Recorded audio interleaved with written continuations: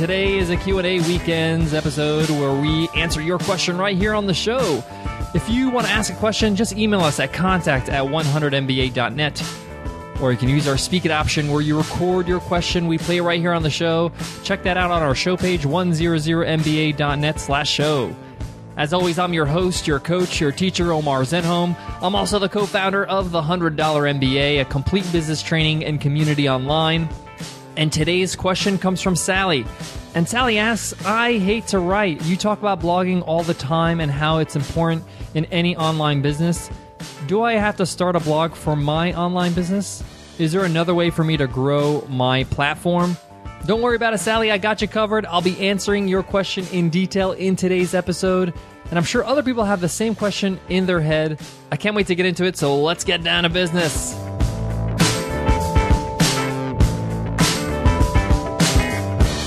Today's episode of the $100 MBA Show is sponsored by InfoFree.com.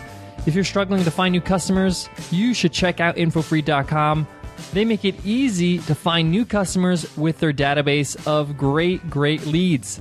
Do you want to reach prospects with phone calls, emails, or direct mail? InfoFree has you covered with its database of 14 million businesses and 220 million consumers.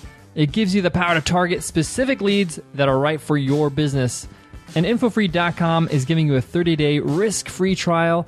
Just go to infofree.com slash MBA. That's infofree.com slash MBA.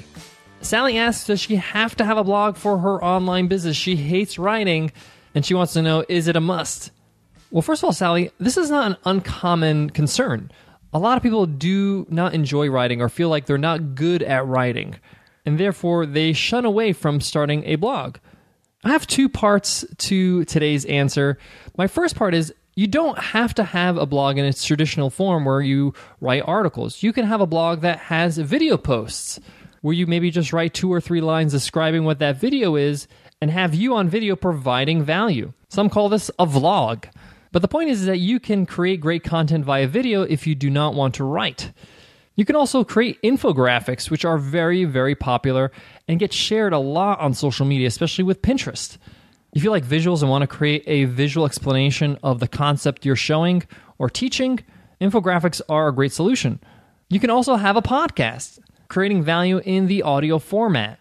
So there's other ways for you to create or generate content on your quote unquote blog on your website and build your platform and build your business and support your online business through content marketing. But I told you there's two parts to my answer. And as always, I'm honest with you guys. I always promise an honest answer and tell you the truth because I want to see you win and I want to do what's best for you. And my second part of my answer is even if you do a video blog, even if you do infographics, even if you do a podcast, you're going to have to write. Because one of the most critical elements to any video is writing down a script and having an outline so you know that you're nailing the points you need to nail on the video. The best sales videos that are out there are very well scripted. Ever watch a great movie and say, wow, I'm loving this movie. I'm so like, you know, completely into it. That's because the script is amazing. The same goes with infographics. Yes, you have images, but you need to outline this and have some sort of data. Podcasting, same thing. And a lot of people don't know that on the Hard Big Show, I outline heavily every episode and I rehearse and make sure that all my ideas are completely manifested in black and white in writing first so I can analyze them and make sure that I'm delivering the right message. So, Sally, my honest, honest answer is if you hate writing, it's okay because you can hate something one day and love it the next. And I'm guessing the reason why you hate it is because maybe you don't enjoy it because you don't feel like you're great at it. But you can improve, you can get better, and you can get better quite quickly if you just start doing it and not worry so much about how great it is. This is one of the main reasons why I say you should start a blog is so you can get the writing out of you, so you can get into practice of expressing yourself in written form. So you don't have to publicly write. You don't have to publicly write on the blog. If you want to do a video blog, awesome. But you have to do some personal writing for yourself, improve your writing skills with some scripting, with some outlining. You don't have to publish that outline, obviously, but you have to get in the habit of expressing yourself through the written word. Maybe your hate for it is just putting your work out there and not really you just writing for yourself.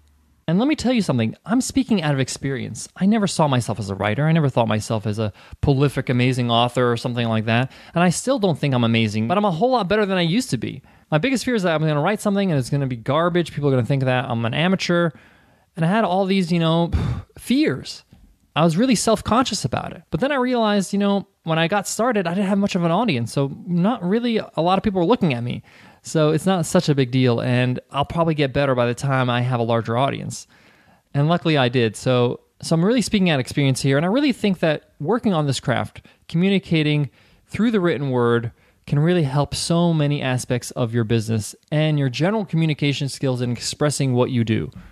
Guys, I have more when it comes to this question, but before that, I want to tell you about an event that's happening in November. Usually at this point of the show, I have a mid roll, I have a sponsor ad that I share with you. But I want to share with you an event that I'm a part of in November that's got me really excited. And the organizers of this event are not paying me a dime. I'm doing this because I really believe in what they're doing. A few months ago, John Lee Dumas from Entrepreneur on Fire reached out to me. John, of course, is the host of the hit Best of iTunes podcast, Entrepreneur on Fire. And he told me about an event that he wanted me to speak at, an event that him and his partner, Kate Erickson, are organizing. When he told me about this event, I was just like, for sure, count me in. This sounds like a game changing event. And the event's called Podcasters Paradise Cruise. It's November 1st to November 7th and it's an exclusive event for only 50 people. They have 12 amazing speakers.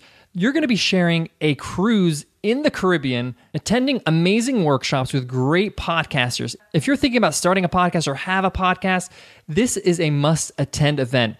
Not only John and Kate will be there, but Andrew Warner from Mixergy, Chase Reeves, Chris Brogan, Chris Ducker, and of course, myself and Nicole will be on the cruise. You'll be attending workshops, excursions, and of course, you're going to get a chance to spend seven days with these great bunch of podcasters that really know what they're doing. In my opinion, I thought this was like the ultimate networking event, and I'm a huge lover of cruises. I love cruises. So if you're interested in this amazing opportunity, there's only 50 spots available. I think they sold almost half of them already. Just head over to podcasterscruise.com and apply. They have an amazing deal going on here. I mean, the price for this thing ridiculous. Like it's to me a no-brainer. It would be amazing to see you guys there on this amazing trip. Again, that's podcastcruise.com. The final thing I want to share with you when it comes to this question do I have to start a blog for my online business? Is that you don't have to do anything. You can do whatever you feel is best for your business. My job is to advise you. My job is to tell you what my experience was, what I learned through that experience, and what I feel will give you an advantage. So I shared with you, you know, I think you should write. I think you should get into it. But you don't have to do it exactly like I do. You don't have to have a blog. You can do video blogs. You can do infographics or a podcast or whatever you feel most comfortable with. But the point is is take my advice, take what I'm saying into consideration in the decision that's best for you. All right guys, that wraps up today's lesson. Guys, remember if you have a question, we'd love to answer it on Q&A weekends. We have a list of questions in our database. We will definitely get to it just email us at contact at 100mba.net or you can tweet at me at BizRepublic and we'll grab your question from Twitter and put it in our spreadsheet and we'll answer it on Q&A weekends. All right, guys, I want to leave you with this. When I look back at who I was as an entrepreneur, let's say five, six, even 10 years ago, I was a completely different person. What I liked and hate were completely different than now. In a lot of ways, I'm almost the opposite. So recognize the fact that we grow, we change, we develop new skills. We're not who we are forever. And one of the strengths of successful entrepreneurs is this idea of growth and flexibility, understanding that you can change, you can reinvent yourself, you can do whatever you can to be successful. You have that power. You can do what you want to do. And for the best entrepreneurs out there, they're motivated, they want it bad, and they're willing to overcome some things that they don't want to do and find a love for it over time. All right, guys, I'll check you in the next episode. We have Dorie Clark, our guest teacher, teaching us how to find your breakthrough idea. Dory is a prolific writer and the author of Stand Out.